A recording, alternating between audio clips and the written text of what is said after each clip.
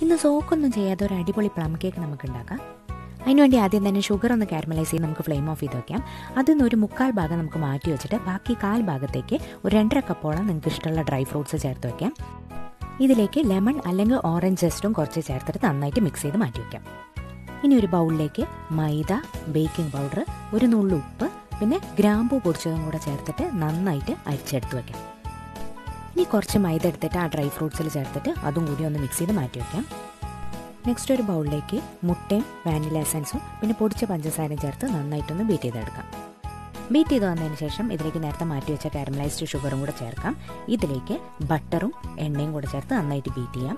ഇനി മൂന്ന് പ്രാവശ്യമായിട്ട് ആദ്യം കുറച്ച് ഡ്രൈ ഇൻഗ്രീഡിയൻസ് പിന്നെ ഡ്രൈ ഫ്രൂട്ട്സ് പിന്നെ ബാക്കിയുള്ള ഡ്രൈ ഇൻഗ്രീഡിയൻസും കൂടെ ചേർത്തിട്ട് നന്നായിട്ട് ആ ബാറ്റർ റെഡിയാക്കി എടുക്കാം ഈ ബാറ്റർ നമ്മൾ ആദ്യം റെഡിയാക്കി വെച്ചിട്ടുള്ള കേക്ക് ടൈനിലേക്ക് മാറ്റി വൺ എയ്റ്റി ഡിഗ്രി സെൽഷ്യസിൽ കുറഞ്ഞതൊരു വൺ അവർ ബേക്ക് ചെയ്തെടുത്താൽ നമ്മൾ അടിപൊളി instant plum cake ready download Moj.